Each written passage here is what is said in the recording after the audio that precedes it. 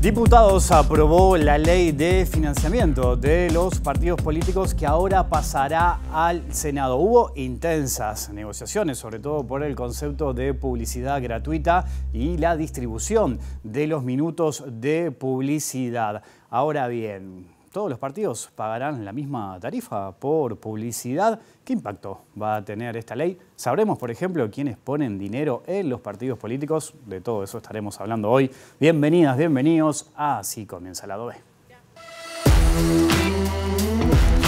En el mundo existe un fenómeno que se llama captación corporativa en democracia, que tiene que ver, lo he explicado muchas veces, con que hay empresas que colocan su dinero para un candidato, el candidato gana y después siente que le debe un favor a quien le bancó la campaña electoral. Y hay que empezar a, divorciar a la política del dinero. Por supuesto que lo mejor sería procesos electorales y financiamiento 100% público. El Uruguay no, no, puede darse lamentablemente ese lujo porque sería muy caro. Por eso tenemos, digamos, eh, una economía mixta en ese sentido, con aportes de privados y, de, y del Estado. Pero bueno, tenemos que jugar con las reglas de juegos que tenemos eh, con los votos que tenemos en el Parlamento Nacional. No hay que olvidar que el Frente Amplio es el partido mayoritario, pero no tiene mayoría parlamentaria. ¿El caso Marcet es un caso de cómo el narcotráfico... Bueno, eso lo tendrá que demostrar la justicia. Y nosotros no podemos... Eh, podemos tener la convicción, pero hay que poder probarlo y la justicia está trabajando y hay que dejarla trabajar.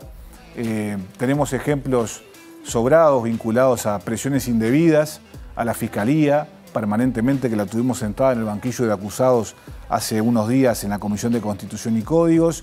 No queremos hacer lo mismo desde el lado de la oposición política. La justicia es independiente, tiene que seguir siendo independiente y hay que dejarla actuar con tranquilidad.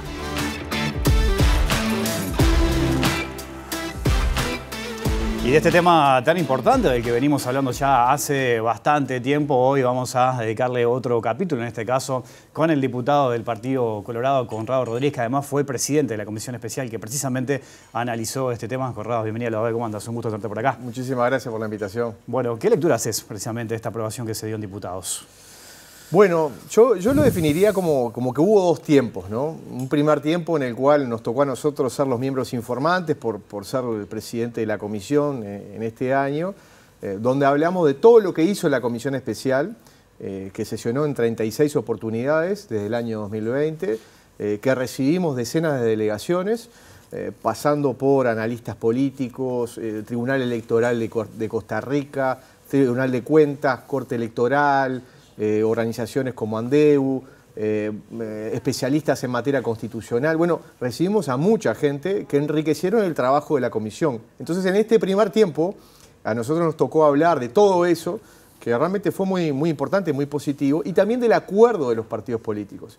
O sea, luego de muchos meses de negociación, logramos un acuerdo en un texto, donde había modificaciones con respecto al proyecto de ley original, donde agregábamos potestades sancionatorias a favor de la Corte Electoral, donde agregábamos mecanismos de control, donde, donde le dábamos un rol específico al Tribunal de Cuentas para poder auditar los fondos de los partidos y auditar también las rendiciones de cuentas de los partidos políticos y que sirviera como una especie de auxiliar o colaborador de la Corte Electoral para que fuera la Corte la que en definitiva decidiera si se cumplió o no con la normativa eh, vinculada a financiamiento de partidos. Entonces, en ese primer tiempo, todos los diputados hablamos de todo esto, que realmente fue un acuerdo muy trabajoso y que fue muy positivo. El segundo tiempo, ahí donde fue donde se generó el problema, donde se empezaron a pedir cuartos intermedios, porque lo que había quedado pendiente en el trabajo de la comisión era definir eh, el tema de la distribución gratuita de minutos a favor de los partidos durante los periodos de publicidad electoral, ¿no?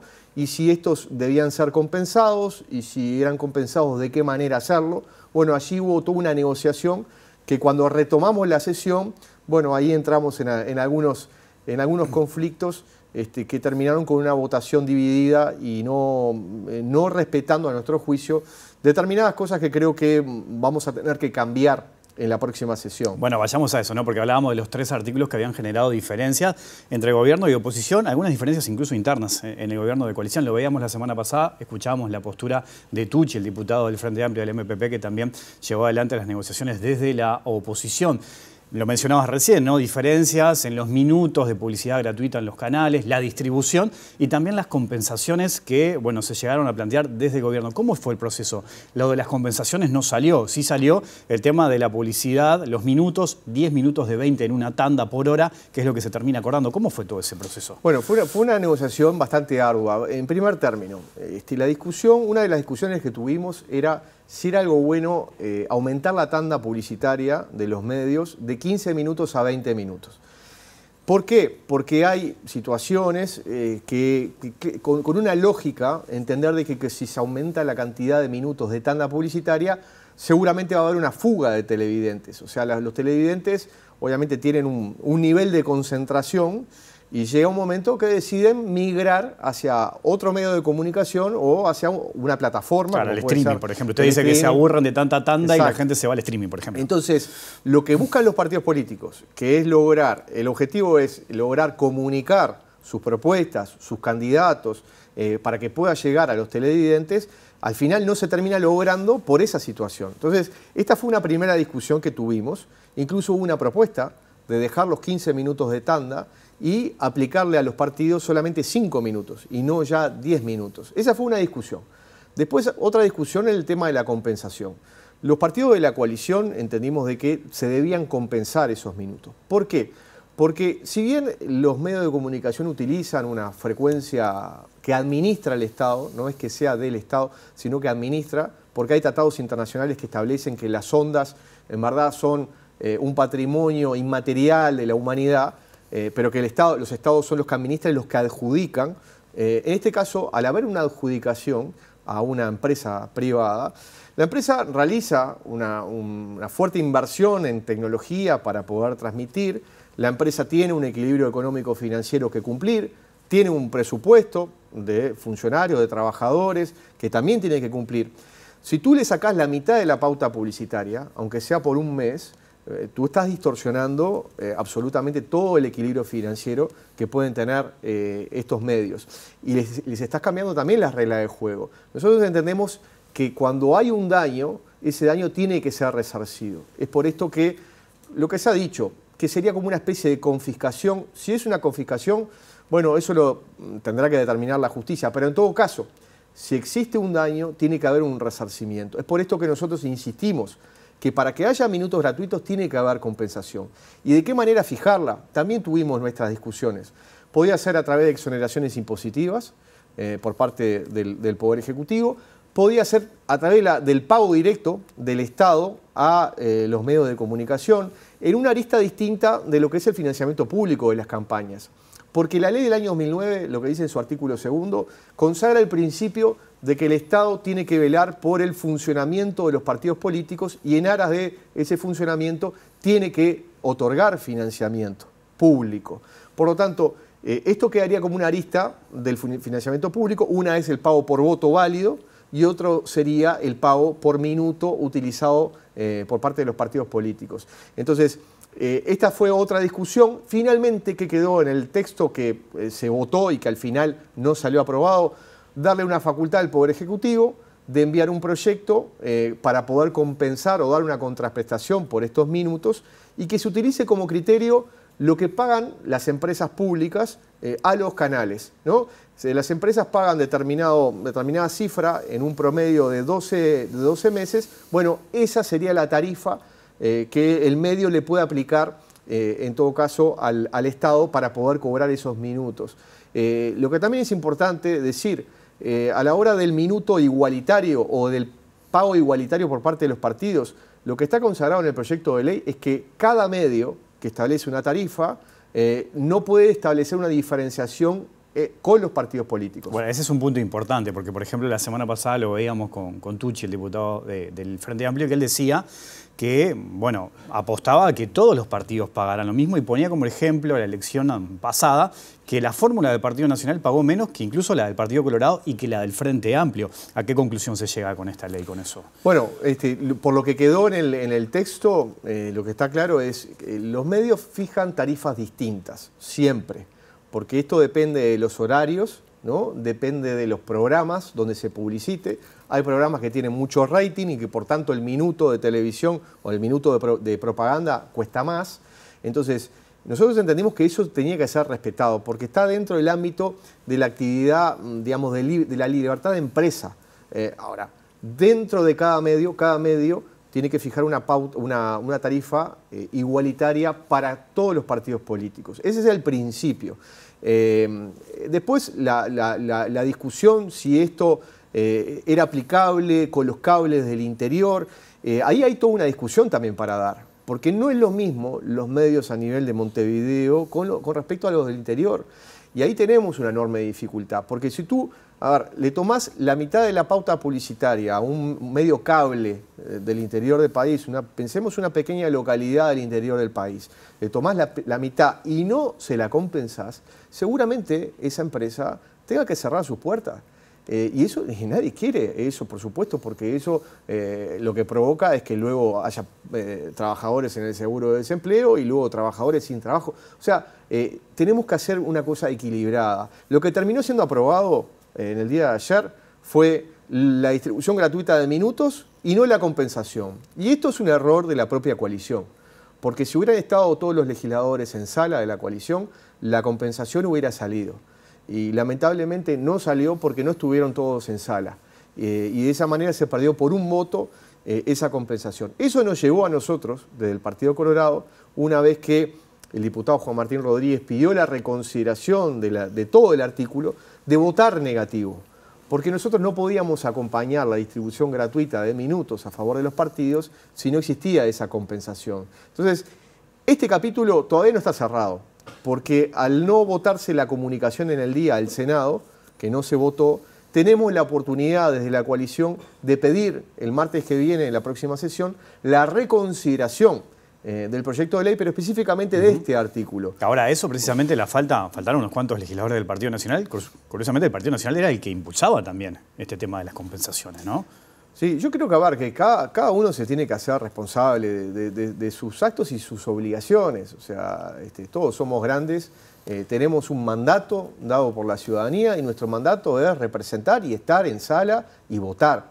Eh, entonces, eh, lamentamos que ayer no hubiéramos tenido la mayoría. Eh, así que bueno, cada, cada, partido tendrá que mirarse a sí mismo y plantearse eh, este tipo de situaciones que no pueden pasar. Este proyecto encierra un montón de elementos, ¿no? Mucho hemos hablado del financiamiento de los partidos políticos. ¿Crees que esta iniciativa puede llegar a blindar al sistema político del dinero que puede llegar a ingresar de actividades ilícitas?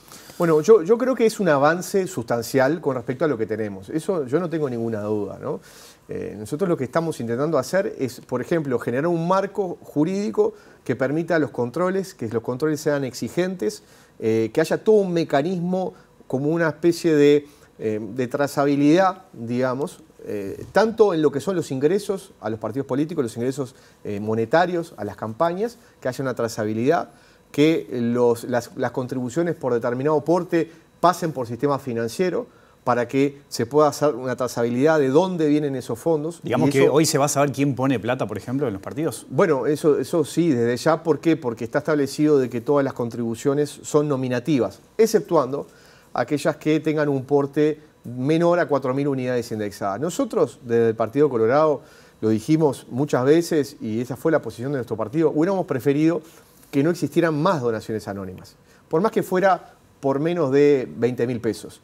Eh, creo, creo que, es algo en el cual nosotros tenemos que seguir avanzando. Tenemos que ir disminuyendo las donaciones anónimas para eh, llegar a un momento que no, que no existan más. Eh, pero se entendió también que por la casuística de cómo se financian las campañas de las pequeñas listas, pongamos una lista concejal en, Mariscala, en, diferentes localidades del interior del país. bueno, esa, esa, esa lista muchas veces lo que tiene que hacer para financiarse es hacer una rifa entonces le pide a los vecinos 100, 200 pesos ¿no? para hacer esa rifa de una camiseta, de una pelota, de lo que sea.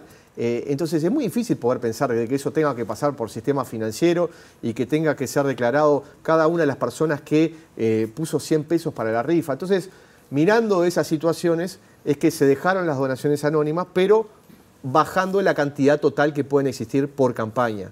Y eso creo que es una señal positiva dentro del marco. O sea que avanzamos mucho en el marco jurídico, yo creo que estamos blindando bastante.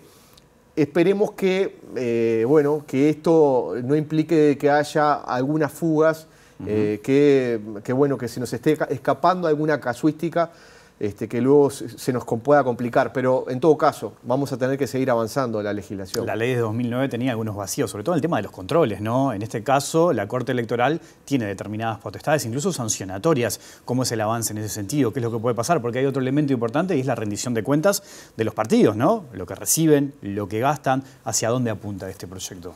Bueno, ahí hay varias, varias aristas que tú planteas, pero por ejemplo, eh, recordarán los televidentes, el anterior eh, periodo de gobierno tuvimos algunas publicidades que eran prácticamente kilométricas, ¿no? duraban muchos minutos, donde un, un futuro candidato hablaba, contaba su historia de vida, etcétera, etcétera, y al final aparecía acto en tal lugar, a tal hora, tal día, ¿no? pero chiquito ¿no? y rápido. ¿Qué pasa? Eh, la ley permitía hacer publicidad por fuera de los periodos electorales o por fuera de los periodos de publicidad electoral, siempre y cuando fuera para comunicar actos, comunicar homenajes eh, o comunicar entrevistas. Eso es lo que establecía la ley. Entonces lo que hacían era a través de eh, esa, esa manera de hacer la publicidad, bueno, que no, que no, no estuvieran sancionados. Bueno, eso fue reclamado ante la Corte Electoral y la Corte Electoral dijo, sí, en verdad está incumpliendo con la normativa, pero ¿saben qué? Yo no tengo potestad sancionatoria, no puedo sancionar ni al medio de comunicación, ni al partido político, ni, ni al candidato. Esto lo cambiamos. Por eso le agregamos potestades a la Corte, que entre ellas tiene la posibilidad de establecer multas. Multas que van desde 10.000 unidades indexadas hasta 300.000 unidades indexadas, que son aproximadamente unos 43 mil dólares, y que eh, se establece según la gravedad de la, de la, sanción, la reiteración, hay un principio de gradualidad, pero son multas importantes, que antes no existían y creo que ahí hay un avance eh, bien concreto. En cuanto a las rendiciones de cuentas, lo importante es que esas rendiciones de cuentas sean auditadas por el, órgano eh, oficial y que tienen potestades constitucionales para poder hacerlo, que es el Tribunal de Cuentas que tiene una experticia, que tiene contadores que están, eh, que, están formados para esto, que lo hacen habitualmente, y que le van a decir a la Corte Electoral, mire, miramos las cuentas de estos partidos, miramos la rendición de cuentas, tuvieron tales ingresos, en realidad este ingreso está incumpliendo con la normativa. Por lo tanto, entendemos de que se debería de sancionar. Y es la Corte Electoral que define la sanción. Yo creo que hay un avance. Eh, y esto, esto es muy importante porque en la discusión pública nos hemos perdido mucho en el tema de los minutos gratuitos, que es un tema importante, pero este otro componente del proyecto de ley, a mi juicio, era el más trascendente y en esto hemos avanzado mucho. Acá en este tema de la política, la campaña, el dinero, hay un elemento que es importante y no solo en el Uruguay, en el mundo entero. ¿A qué voy? Lo que los empresarios pueden llegar a después a exigirle a los legisladores concretamente, ¿no? Yo empresario digo, bueno, Conrado, yo confío en tus ideas, en tu sector, me gusta tu propuesta, yo pongo plata en tu campaña, pero después cuando vos asumas, yo tengo determinados intereses y te digo, bueno, acordate de, de mis intereses, trata de legislar o de impulsar algún proyecto que me favorezca ¿Cómo ves eso? ¿Es posible desprenderse de eso al momento de ir a pedir financiación para una campaña electoral? Bueno, yo, lo que creo es que en la medida que haya transparencia de quién financia a qué partido y por, cuántos por cuál monto, eh, ese ejercicio de control no solamente los hacen los, organismos públicos especializados, sino también lo hace la ciudadanía. La ciudadanía va a poder acceder a través de la página de la Corte Electoral, ya incluso con los estados contables de los partidos ya publicados, eh, qué empresa o qué persona financió a qué partido y puede hacerle un seguimiento a ver si esa empresa eh, en definitiva recibió algún tipo de beneficio por parte del Estado. ¿no? Yo creo que ahí hay un ejercicio de transparencia bien importante. Hay otras legislaciones y otros países, eh, como los Estados Unidos, donde eso está naturalizado en el sentido de que las empresas le donan a los candidatos eh, y, claramente las empresas dicen que le donaron a los candidatos, ¿no? Y eso está en el conocimiento de la opinión pública. Entonces, hay diferentes sistemas, pero yo creo que en el sistema nuestro, que es un sistema mixto, eh, de componente público y privado, y creo que está bien que sea así, porque muchos se rasgan las vestiduras de que dicen, tendríamos que tener un sistema únicamente público, ¿no? De financiamiento público. Pero fíjate lo que pasa. Ahora estamos planteando la compensación por los minutos y ya no, el Estado no puede gastar en esto. La sociedad toda no puede poner eh, a favor de los plata a favor de los partidos políticos. Entonces, creo que hay que tener determinada coherencia a la hora de establecer criterios. Yo creo que el sistema mixto que tiene el Uruguay es bueno, pero obviamente que tenía sus vacíos y que lo que estamos haciendo en esta normativa es tratando de llenar estos vacíos. Eh, y como todo, siempre se corre atrás porque siempre se va avanzando mucho, eh, por ejemplo, a nivel de las redes sociales. Este proyecto de ley no, no habla de las redes sociales, cuando hay mucha publicidad, o capaz que la mayoritaria, que se está haciendo a través de las redes sociales. Pero esa era otra discusión que nos teníamos que dar. Eh, se puede entender también de que le permite a aquellos candidatos que no tienen recursos, de que a través de las redes sociales se pueden dar a conocer. Y esto, ese ejemplo ha pasado en el mundo, ¿no?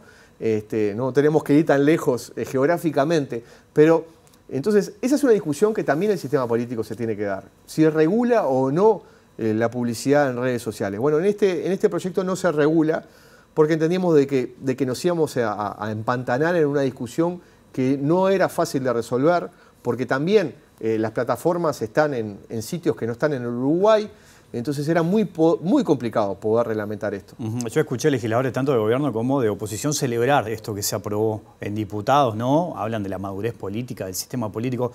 ¿Cuánto condicionó el caso Marcet en que se haya acordado justamente en este año? Nada. ¿No? Cero. Porque, lo digo así directamente, porque nosotros retomamos el trabajo de la comisión eh, enseguida que terminamos la rendición de cuentas, que pasó por diputados la primera vez, que fue en agosto, nosotros ya, ahí ya convocamos a legisladores de la coalición en primera instancia y después a los legisladores del Frente Amplio para retomar los trabajos eh, y no se había dado la situación de las renuncias de los ministros, etcétera. Todo eso fue mucho después, terminó siendo, eh, si mal no recuerdo, a principios de noviembre. Eh, entonces, cuando nosotros retomamos el trabajo con el objetivo concreto de llegar a fin de año con un proyecto de ley aprobado, no, no estaba para nada arriba de la mesa el tema Marcet y ni se, ni se había puesto a discusión por parte de ningún legislador. Te propongo una pequeña pausa y seguimos conversando, ¿te parece? Ya sigue el lado B aquí en la pantalla de TV Ciudad.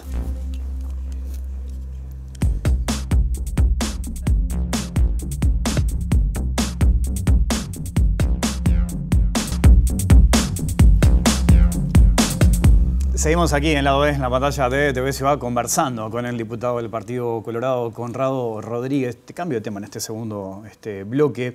Hace algunos días, hace algunas horas, conocimos algunos datos preliminares del censo, ¿no? Que, bueno, reafirman algo que imaginábamos, un país envejecido, pocos nacimientos. Recuerdo que habías presentado un proyecto en su momento que apuntaba precisamente a crear una comisión de expertos que tratara el tema de la natalidad. ¿Está presente hoy? ¿Pensás que eso puede ser un insumo a la hora de tratar este tema que nos afecta? Yo creo que sí, yo creo que sería muy, muy importante. Eh, nosotros, a ver, tenemos los primeros datos del, censo. Allí lo que se dio sí fue un aumento de, población, alrededor de 157 mil eh, habitantes más, pero fruto básicamente, digo, fruto de la, de la inmigración, ¿no? Y no de nuevos nacimientos, porque la tasa de natalidad ha bajado de forma sostenida en nuestro país, ¿no? En el año 1995 eh, los nacimientos fueron alrededor de 59.000, eh, mientras que en el año 2021 fueron 36.000. Y luego en el año 2022 volvió a bajar. Entonces, y esto es una, pendiente que, a mi juicio tiene que prender las luces de alarma y de alerta.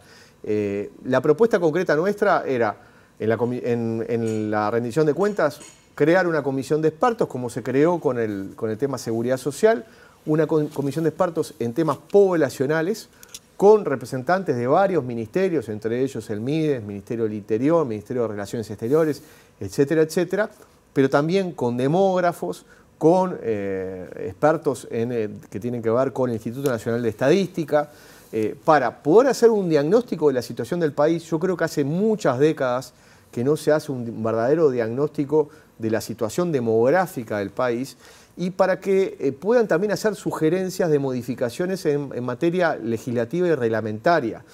Obviamente que hay pautas culturales que son muy difíciles de poder cambiar. Yo, pongo un ejemplo, ¿no? En la, edad de nuestros padres se daba la, circunstancia de que se casaban jóvenes y tenían una cantidad de hijos este, que, a veces era, era importante, ¿no? Eh, bueno, e, esta pauta cultural ha cambiado totalmente. Hay, eh, las parejas se juntan, no se casan, eh, deciden tener hijos mucho más tarde. el rol de la mujer, que ha sido un rol que ha avanzado mucho en, materia, en la educación, en el trabajo, en las profesiones, muchas veces deciden tener hijos de forma mucho más tardía porque esperan a poder recibirse en una carrera y luego hacer un posgrado. Entonces, hay determinadas pautas culturales que son muy difíciles de poder eh, modificar. Pero sí, creo que lo que sí podemos hacer como país, eh, ver un marco normativo, por ejemplo, en el sistema de cuidados. Nosotros tenemos un, sistema de cuidados que está enfocado sobre todo para la primera infancia y para la edad, digamos, de los adultos mayores, ¿no? Y no para aquellos niños que tienen entre 4 y 9 y 10 años, eh, donde me parece que tiene que haber una ampliación de ese sistema de cuidados. ¿Por qué digo esto? Si existiera una ampliación del sistema de cuidados donde se le dé eh, posibilidades de, cuidados, de eh, educación, de alimentación, bueno, los padres mm, van a tener mayor libertad a la hora de poder decidir si eventualmente tienen algún hijo más. ¿no? ¿Por qué? Porque van a tener esa seguridad de que, bueno, puedo dejar a mi hijo eh, eh, a resguardo, con buena educación, con buena contención, con buena integración este, con, determinados eh, especialistas. Entonces, ahí puede tomar una definición. Entonces, yo creo que lo que nosotros tenemos que ir modificando, y esto tiene que estar arrojado en este estudio, es si a través de determinadas modificaciones legislativas y de políticas públicas nosotros le podemos dar más libertad a las personas, a las familias, para poder tomar decisiones. Ahora hay un elemento importante y tenemos datos de pobreza infantil que son preocupantes, que nos interpela a todos. Y eso también hay que ver en qué condiciones nacen los niños que nacen en el Uruguay, ¿no? Este, eso también está contemplado allí en ese Bueno, sin duda hay, eh, es una preocupación de, todos los, de todo el Uruguay. Eh, hubo una rendición de cuentas que fue la del año 2021, donde se había creado una política específica para agregar recursos a los ya existentes eran 50 millones de dólares por año, en un programa que establecía un, convenios a través de, presidencia y OPP con diferentes organismos, con objetivos concretos, justamente para poder lograr abatir y bajar eh, esa pobreza eh, infantil. Ese programa eh, quedó como a mitad de camino, ¿no? Este, tuvo como un funcionamiento parcial. Creo que hay que rever distintos aspectos de ese programa y obviamente focalizar este, para que esos recursos puedan llegar a donde tengan que llegar. ¿no? Eh, esto también tiene que estar en discusión, obviamente, en esta, en esta comisión de, expertos, porque es una lista bien importante. Esos niños eh, tienen que tener un crecimiento adecuado, eh, obviamente con todas las políticas públicas alrededor de ellos y de sus familias, para que puedan crecer en, ambientes adecuados. Entonces eso tiene que estar. Eh, ya en el cierre, ¿no? Este, el Partido Colorado tiene varios precandidatos, en tu caso, tu sector están apoyando la precandidatura de Gabriel Gurméndez. ¿Cómo te imaginas esa interna del partido? Bueno, yo, me la imagino competitiva. Este, muchos este, nos habían criticado de que nos decían qué pasa con el Partido Colorado, que eh, no hay candidatos, ¿no? Y nosotros siempre habíamos dicho, en el segundo semestre del año eh, van a estar los candidatos. Bueno, en verdad nunca pensamos que fuera sobre el final del segundo semestre, sino un poquito antes. Pero creo que es positivo. Hay muchos dirigentes del partido que tienen ganas, eh, que demuestran esas ganas a través de mm, ser candidatos o precandidatos. Eh, nosotros decidimos apoyar la candidatura de Gabriel Gurméndez, que es un hombre con, muy buena formación, con un apego a la historia del vallismo muy importante, siempre ha estado en la fila del vallismo y del Partido Colorado. Eh, ha estado en la actividad pública, ha estado en la actividad privada, siempre ha, mostrado resultados, gestión y resultados, los mostró en Antel en este último periodo, logró la incorporación de la, tecnología 5G, una tecnología de vanguardia a, nivel de lo que es la, innovación tecnológica que el país precisa, eh, logró excelentes resultados en, materia económica para el propio ente, siguió estando en la prioridad eh, de todos los uruguayos este, a través de, los servicios de ANSEL, por ejemplo, en la competencia que tiene con las otras empresas.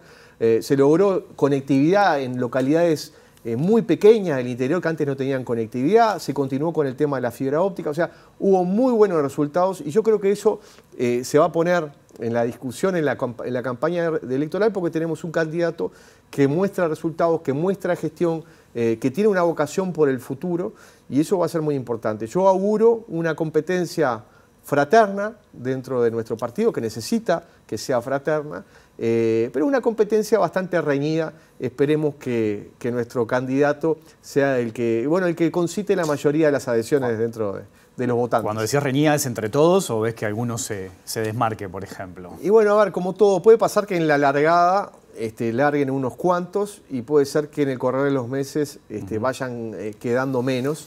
Este, pero en todo caso eso lo decidirá cada uno y la ciudadanía verá cuál es el, el candidato que mejor los representa. Este, yo creo que eh, hay una, hay una situación que es, la, que es la coalición, una herramienta que es la coalición, eh, que ha funcionado bien en muchas cosas, que resta por ajustar muchos detalles para que funcione mejor en otras.